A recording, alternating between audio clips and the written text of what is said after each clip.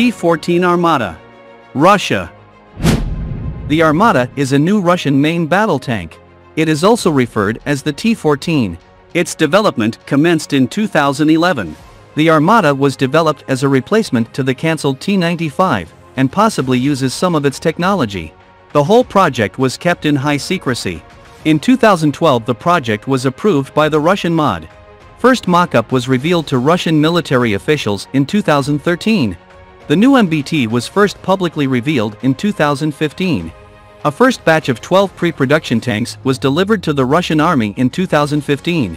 However soon after the 2015 Victory Day parade these pre-production tanks returned to the manufacturer for further testing and improvements. There were some signs that Russia was preparing to launch a full-scale production of these tanks. For example new production line for the Armata tank guns was launched. In 2018 Russian MOD ordered a first batch of 100 of these new tanks. First production tanks were planned to be delivered during the same year. However delivery date was postponed a number of times due to funding problems and technical issues. In 2019 there were reports that there are unresolved technical issues with all major components of the Armata. These problems were partially caused by sanctions imposed on Russia due to the military actions in Ukraine. It was announced that deliveries of the first batch of pre-production tanks will begin in 2019 or 2020. It was planned that in 2021 a batch of 20 pre-production tanks will be delivered to the Russian army. Since 2021 the T-14 Armata tank is being advertised for export customers. Future of this tank is unclear due to numerous design problems.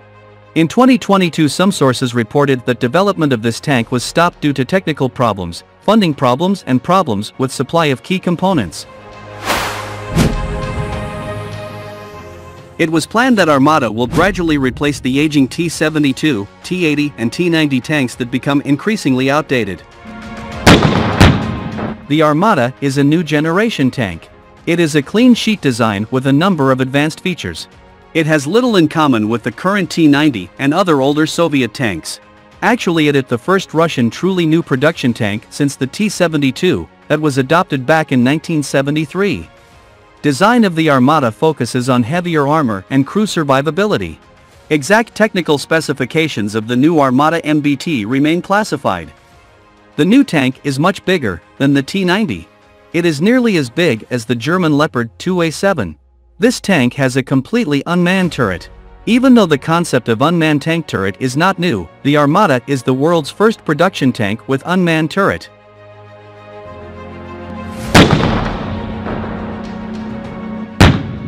This main battle tank is operated by a crew of three men, including commander, gunner and driver. It is in line with Russian tank building concept, that the tank should be operated by a smaller crew in order to reduce its dimensions and weight and improve protection. Armata lacks gunner, as the gun is loaded by an autoloader. It is worth noting that most Western MBTs have a crew of four. The Armata might be one of the most protected MBTs in the world. It has newly developed base armor, made of steel, ceramics and composite materials. Also Armata has a new Malakhit add-on explosive reactive armor that is claimed to be of new generation. As usual this MBT is fitted with NBC protection and automatic fire suppression systems. It has been reported that Armata will be fitted with new Afganit active protection system. However in 2018 it appeared that there are setbacks with development of the Afganit. By 2018 prototypes of this system were not completed and were not ready for testing. The tank has a new countermeasure system that reduces the chance of being hit by enemy ATGW with semi-automatic guidance. This new Russian tank uses smoke grenade dischargers of new type. The tank uses electrical armament stabilization and turret traverse systems. These are more reliable and safer for the crew than older hydraulic systems. Furthermore these provide a quick turn of the gun in proper direction. All crew members are seated in a well-protected armored cell. It is separated from automatic loader and ammunition. The tank has improved resistance to damage. It can operate even with penetrated armor, as far as the crew cell is intact. It is the first production MBT with such crew layout. The tank is armed with a 2A82, or 2A82-1M, 125mm smoothbore gun, this new gun has longer range and is more accurate than the old 2A46M gun of the T90 MBT. The gun is completed with an autoloader. It was planned that the tank will be capable of firing programmable ammunition. The Armata is capable of firing gun-launched anti-tank guided missiles in the same manner as ordinary projectiles. These missiles have a range of about 5 kilometers and can also target low-flying helicopters. A total of 40 rounds are carried for this tank, and 32 of these rounds are ready to use. There is a coaxial 7.62mm machine gun. Also there is a remotely controlled weapon station, armed with another 7.62mm machine gun. This weapon has a remote reload capability. This weapon station also functions in Commander's independent sight that gives the tank a hunter-killer capability. The Armata MBT is fitted with new fire control system. It is also equipped with a battlefield management system. Commanders and gunners workstations are identical. Initially it has been reported that this new main battle tank is powered by an A82-2 turbocharged diesel engine, developing 1,200 horsepower. It is a new generation engine that is much more compact than the previous Russian tank engines. However in 2019 information emerged that the tank packs a more powerful A85-3 engine, developing 1,500 horsepower. Interestingly this rating is for a peak power which would be used only during wartime and at a cost of extremely short service life.